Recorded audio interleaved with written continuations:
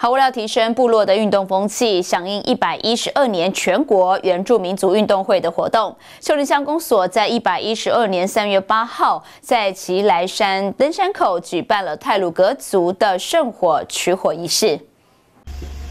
凌晨五点开始，祈祷准备传统祭仪器具，向着祖居地的方向进行仪式，用祖语念着祭祀，祈求泰鲁格族后代子孙能够向先祖为了延续血脉。勇敢向未知的东迁之地的精神，让泰鲁格族持续在当代社会当中持续茁壮与成长。新闻校长王哥表示，之所以会选在奇来山灯口作为圣火取火仪式的地点，象征着泰鲁格族为了寻求猎场、延续血脉的勇敢精神，全心向祖灵祈求，让代表着文化、智慧、勇敢的神圣之火顺利引燃。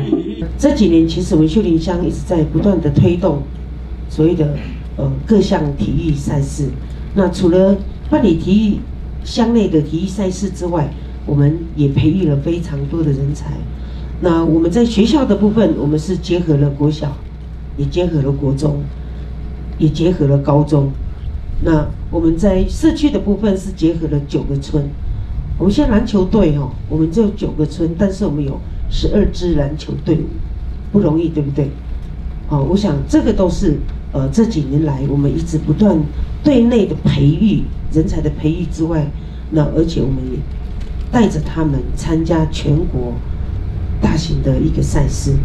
所以我们的脚步是跟着我们原民会、我们原住民族委员会以及各个乡镇市哦，来一起呃跟上呃每一步。那我们希望秀林乡能够成为最具有潜在力的一个。推动运动的一个原住民重镇。新闻小张我会表示，新闻相关所多年来致力于提升部落运动的工作，不仅辅导部落各个运动参与全国大小的运动赛事，同时也积极主办或是辅导乡内社团办理各项大型运动赛事，为了就是能够让秀林乡成为全国最具竞争力的原住民运动重镇。今天非常感谢原住民族委员会、台北市政府办理促成一年一度的运动盛事。也期待这些年来秀云乡公所培育的运动豪士们，能够为秀云乡、为泰鲁格族拿下最好的成绩。记得九月秀香报道。